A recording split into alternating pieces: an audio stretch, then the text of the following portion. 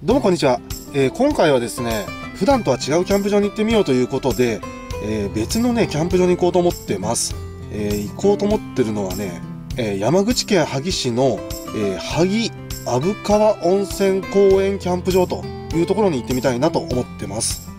これがねまた遠いんですよ。えっとだいたいね2時間半ぐらい2時間半ぐらいかけてこのキャンプ場に行くんですけれども2時間半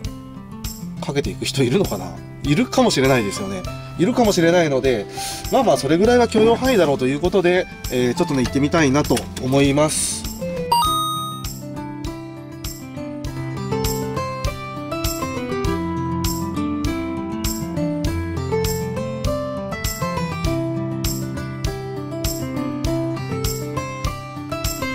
さあ、えーっとこの辺りはですね小鳥の森キャンプ場の近くです、えー小鳥の森キャンプ場の近くなんで、まあ、小鳥の森行ってもいいんですけどもえーっとねあと3日後ぐらいにねまた行く予定が立ってるのであのー今日はちょっと別のところにしてみようかなと思います、えー久しぶりのね浮気をしようと思います。実はねあの今日天気予報ではえーっと雨予報だったんですよ。曇りのち雨っていうことでえーっと天気どうかなって感じだったんですがこの分だと大丈夫かな？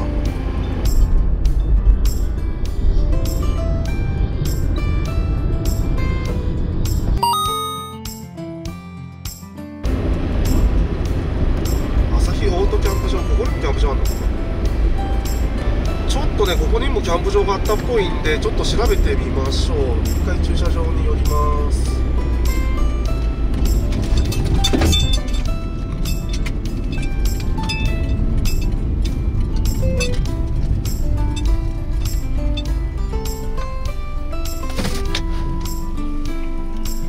すげえね後ろから追ってくる車がいましたが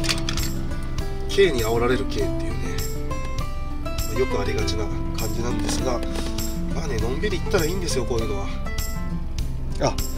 えー、萩アクティビティパークキャンプ場。ここもねちょっと見た目は良さそうなんですがえっ、と料金のとこ見たら4月から10月まで3140円となってますんでこれはねきっとやってないな今の時期。結構ね時期によってやってないキャンプ場があったりするのでキャンプ場選びもね結構大変なんですけども、えー当初のね予定通りですねもうちょっと車を走らせてみようかなと思います。空いてるキャンプ場はねほんと冬はなかったりするんですよ。なかったりする上にあったとしてもね電源サイトとかで高かったりするんでそうですね。1泊1000円とかでやってる僕としては1泊ね4 5 0 0 0円って言われるとかなりお高いなという感じがするのでうんちょっとねそういうのはいかないんですよね。やっぱ予算との兼ね合いもありますしえー、とポータブル電源を持ってるので別に電源サイト行かなくても電源がねあったりするっていうのがあります。えー、またもやね後ろの車がめっちゃ煽ってきてますね。めっちゃ煽ってきてるんですがいやーでもなんかこの辺ほぼ来ないですけどいいっすね。なんかこういう山道っていうか田舎道は結構ね走るの僕好きなのでいう道はなんかちょっといいですね。しかもなんかこう枯れ木がねいっぱいある感じがまた冬って感じがしていいなと思いますね。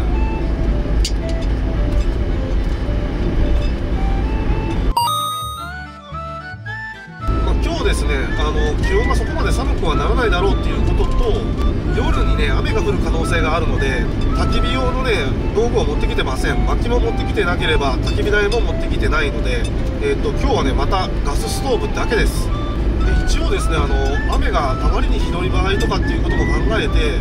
えー、とこの軽バンの中ですね軽バンの中久しぶりにね車中泊できるような仕様にしてます。なのでもしね雨がひどかった場合は車の中に避難するってことができるのと車の中でそのまま寝るってことができるようにしてますんで今日はねどっちに転んでも結構快適に過ごせるんじゃないかなと思ったりしてます。どうやらここらしいですね。ここか。えー、キャンプ場どこだ？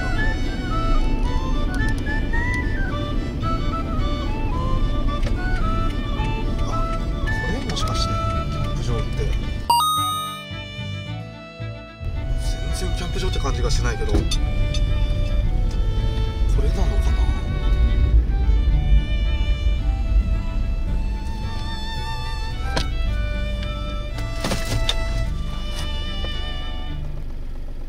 きっとこれでしょうねキャンプ場って。わあ思ったとこと違うなんか。これはどうしよう。えー、こういうとこか。まあ間違いなく一人でカンソロでできそうではあるんですけどね。カンソロできそうではあるんだけどなんか公園って感じかな？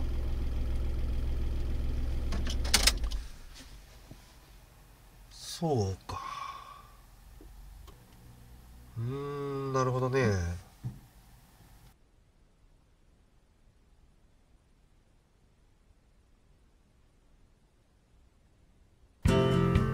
はいえー、っとここにね泊まることに決めました。えー、泊まることに決めたんですけどもスーパーですね。スーパーがここからね13キロ先。13キロ先にしかないみたいなのでまあねしょうがないのでここにねまずスーパーに行こうと思います、えー、マルキュウアトラス萩店っていうとこですね。そこでまあとりあえず買い出しをしようかなと思います。はいえー、ということでですね萩市内に入ってますけれども山口県っていうとガードレールがねオレンジ色なんですよ。オレンジ色のガードレールが多いんですけどもこのね萩市はね焦げ茶焦げ茶みたいなガードレールが多いです。やっぱり観光地なのでなんかこうそれ風な色合いにしてるんでしょうね。この辺は、えー、ちょっとまだ映らないかな。なかなかガードレール出てきませんが焦げ茶のような色をしたガードレールです。ああスシロー食いて。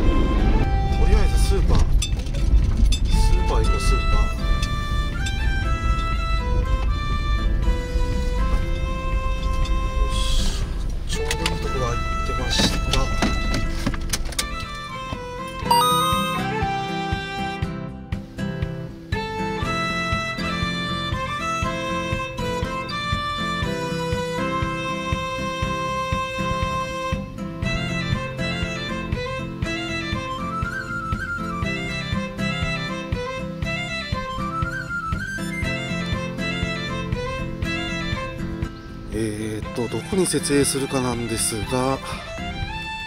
ちょっとね誰もいない上に結構人がいるんですよ。結構人がいる上に誰もいないっていうキャンプ場には。なのでこの辺ですね。この辺に設営してみようかなと思います。ちょうどこう川とかが見えていいのかなと思うのでこんなアングルでやってみたいなと思います。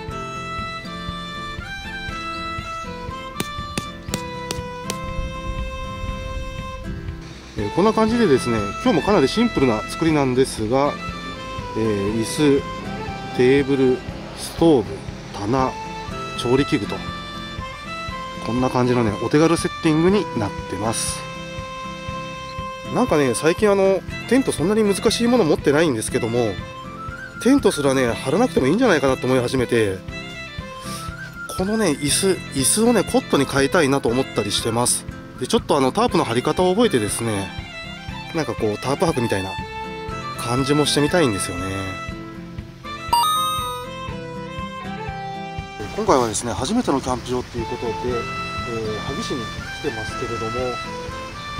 うですねここのねキャンプ場のねいいところといえば、まあ、こういう景色が見れるところでしょうかね。景色が見えたりするのがいいところで、えー、悪いところはねなんかね車の出入りが激しい、えー、温泉も併設されてるのでどうしてもね車の出入りがすごくあって、うん、静かにこうキャンプできるかなっていうとちょっと微妙なところがありますね。まあねこの辺はやっぱり来てみないと分かんないところなのでまあこれで良かったかなとは思います。車がね多いっていうこと以外は、えー、電波もしっかり入りますしそういう意味では過ごしやすいかな。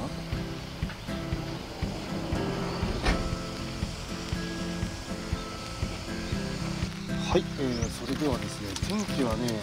決して悪くないんですがやっぱり雨が降りますね。今日はねちょっとねまた鍋やろうと思います。鍋やろうと思ってるんですが今日の鍋はねずっと気になってたこれです。ウニクしゃぶ。ウニが香るスープでお肉をしゃぶしゃぶするとありますけども。で締めのねこのねウニ雑炊。ウニ雑炊が食べたくてちょっとね今回これ挑戦してみようかなと思います。初めての鍋です。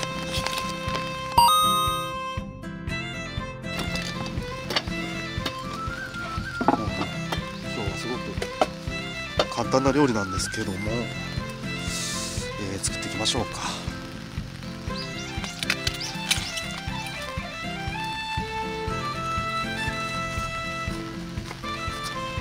白菜もねあれですよ。だいぶお安くなってましたんでまあ良かったなと思うんですけどもえっとね僕が使ってるナイフってこのオピネルの8番です。オピネルの8番使ってるんですがちょっとねこうね分かりますかね？こういうちょっと大きめの野菜を切ろうとすると結構ね切りづらかったりするんですよ。正直。正直切りづらい部分があるのでもしね今後オピネル買おうと考えてる方がいればやっぱり9号か10号が一番ベストなのかもしれません。で刃はステンレス。ステンレスのものが絶対錆びないのでいいです。基本的にね僕はあの手入れをしたりしないんですがそれでもね錆びることなく普通に使えますんでやっぱりですねステンレスのブレードが一番いいんじゃないかなと思います。今回の具はね白菜とネギ。それだけです。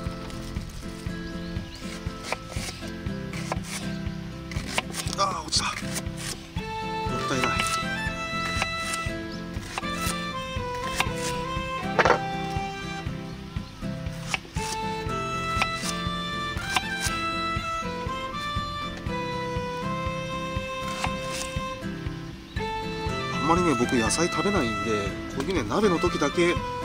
と野菜を補給できるかなって感じです。さあそれではですねこの中にお肉しゃぶ入れていきます。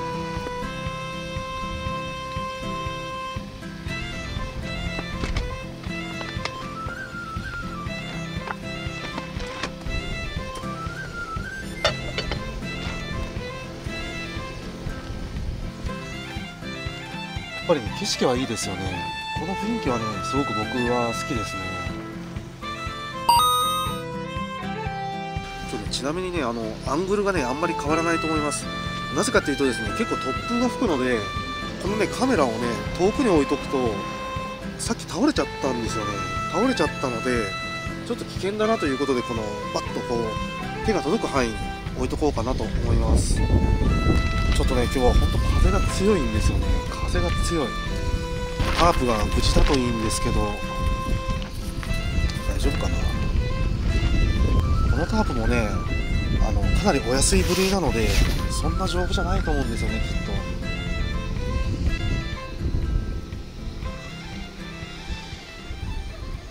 と。あこんな感じでね急に風が収まったり急にバーッと吹き出したりとか。うんなんか変な天気ですね今日は。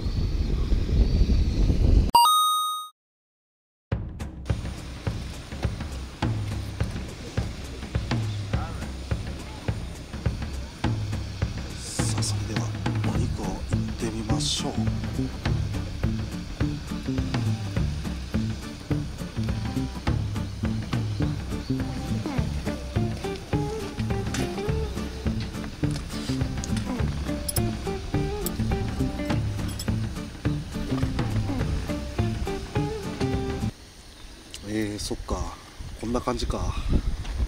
完全にねタレを持ってくるべきでしたねこれは。白菜とネギはうまいですね。肝心の肉が。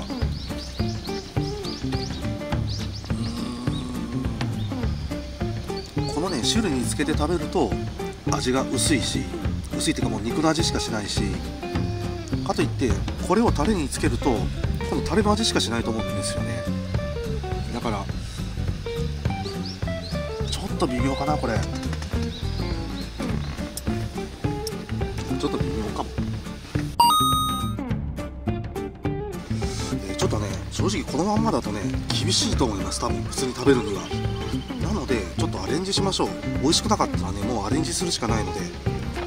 鶏ガラスープ。鶏ガラスープがあるので鶏ガラスープ投入します。であとねちょっとパンチがないので胡椒。胡椒多分合うと思うんですよこの味。これでちょっといただいてみましょう。実はこの鍋する前去年でしたかね。えっとチーズクワトロ鍋っていうのを買ってやったんですけどまあ微妙だったんですよね。味薄いしなんか白味噌鍋みたいな感じで。なのであ美味しい。あこっちも美味しいな。なのでちょっとね代償が出しする鍋の素みたいな最近ちょっと失敗作が多い気がしますね。これでねようやく味がついた感じかな。結構期待してたんですけどねこの鍋。さあまあねとりあえず鍋といえばこれでしょう。金麦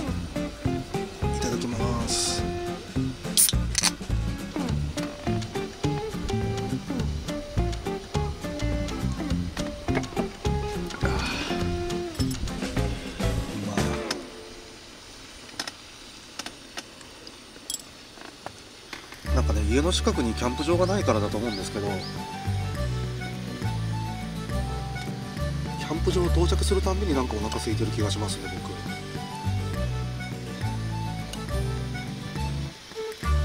まああれですね。ちょっとあの変わり種買いたくなっちゃったんですけど普通の鍋買うのが一番かなやっぱ。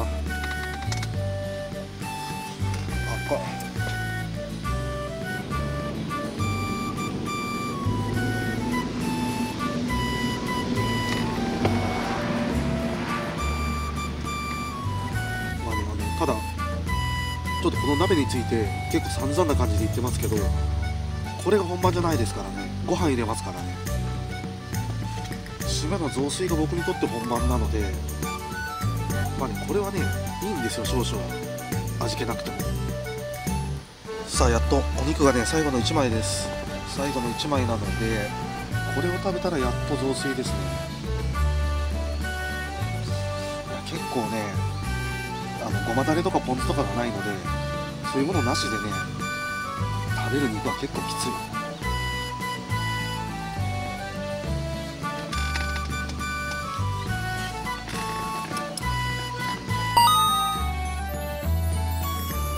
まあちょっとね残念ながら車がね多すぎるのでこれ今平日ですからね。平日でこんだけ車がいるのでまあちょっとここに来ることは多分もうないとは思うんですけども、えーまあねそんなに悪いところではないんじゃないかなと思います。ただ車が多いので僕には合わないというだけなんですけども、えーここでね本番のご飯を入れてしまおうと思います。でご飯はねあの炊きたてを用意する必要が全くないので今日はね買ってきました。わざわざこれのためにご飯炊くのもなと思ったんで鍋の後のね雑炊ってたまらないですよね。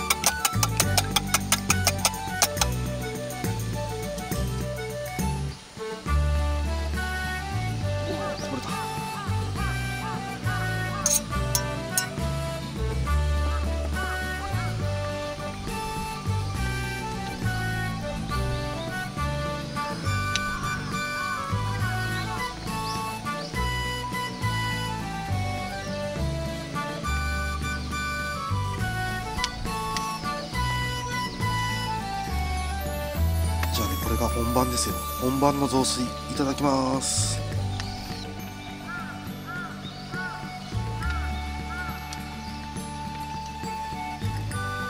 あ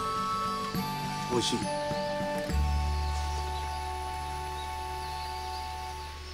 やっぱこっちが本番ですね。ただねウニの味がすると言われればするししないと言われればしない感じです。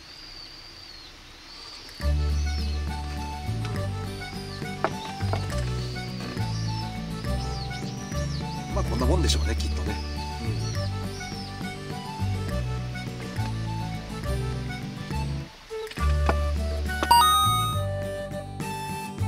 うん、でもあの締めでですね雑炊作っててよかったです。なんかほんとね美味しく終われるなっていう感じですね。今回ね初めてこのお肉しゃぶっていうの食べましたけどもあの鶏ガラとね胡椒。これをね足さないとちょっとね味が物足りないと思います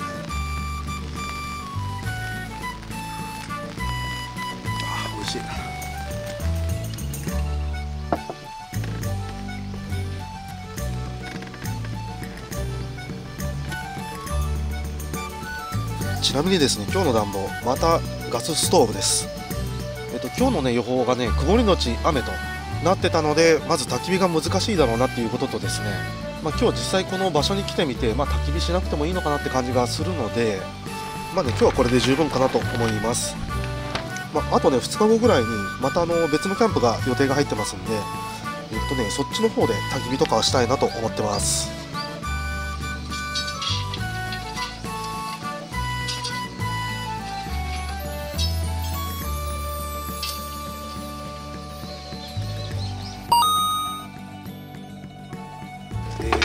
飯も食べてですね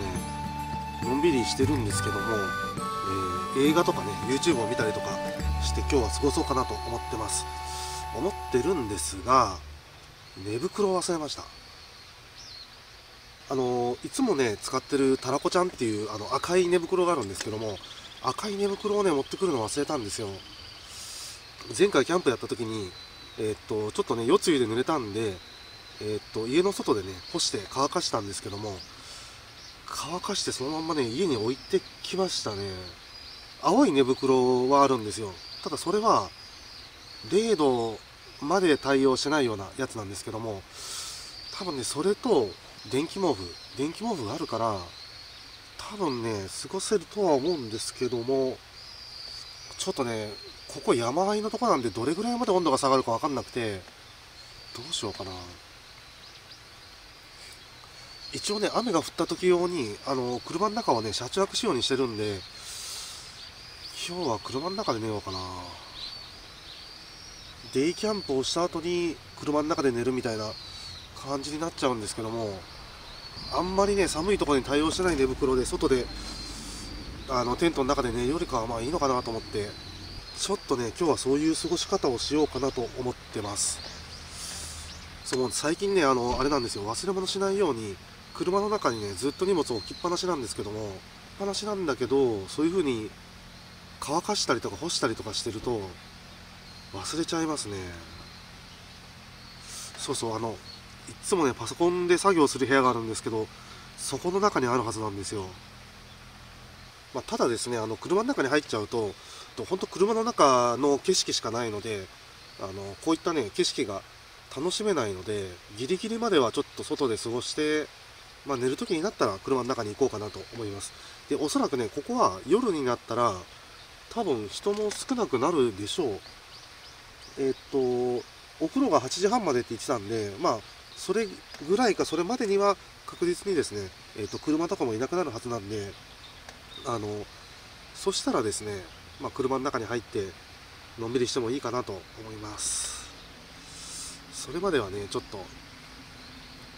せっかく来たんでねやっぱ外の景色を見ながらあのこの自然の音を聞きながらちょっとね過ごしたいなと思います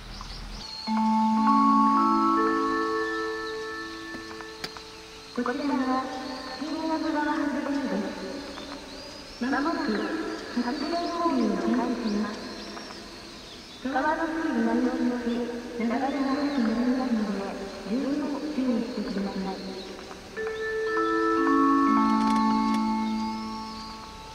放流を開始するみたいですね。川の水位が上がって流れが速くなりますので注意してくださいと。言ってましたがちょっとせっかくなんで近くまで行ってみようかな。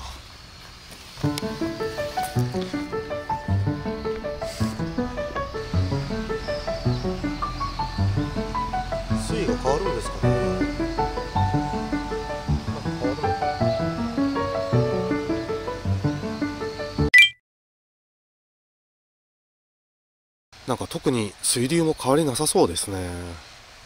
結構すごいのが取れたらいいなと思ったんですが。ちょっとそうもいかないようですね。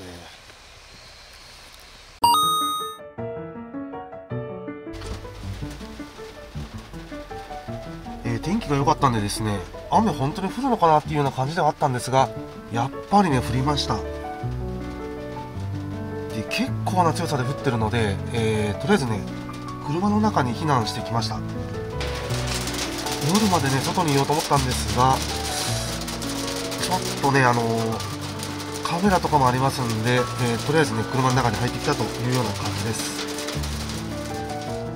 なんか車の中でね動画撮るのもめちゃめちゃ久しぶりな感じがしますけどもなんかどうですかね？新鮮な感じですかね逆に。えー、車の中に戻ってきたんでちょっとねもう景色を見るとそういう感じもなくなっちゃったんですよ。なのでの中で寝るしかないんですよなんかスマホいじってるかしかないんですけども着てた服もね結構びしゃびしゃになっちゃったんでうんそういう時やっぱオートサイトがいいなと思いますね。ここまでオートサイトみたいなもんなんですがやっぱりあの駐車場から、あの、設営するところまでねある程度距離があるのでやっぱりねどうしてもうん